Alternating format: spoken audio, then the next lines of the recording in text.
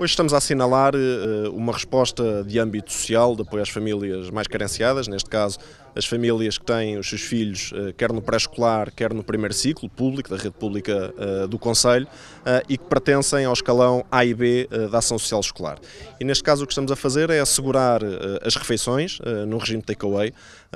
É, é preciso termos presente que muitos destes, destas crianças, a única refeição completa é o almoço na escola e, portanto, nós estamos vamos, eh, eh, obviamente, continuar a entregar estas refeições a estas, a estas famílias. Até ao momento eh, já entregámos um total de, de mais de 1.700 refeições nestes, nestes dias, desde que fechou, as escolas encerraram, com uma média de 250 refeições diárias. E, portanto, é com mais este apoio social que continuamos este nosso caminho de tentar, obviamente, minimizar todas estas circunstâncias atípicas e extremas que atualmente vivemos.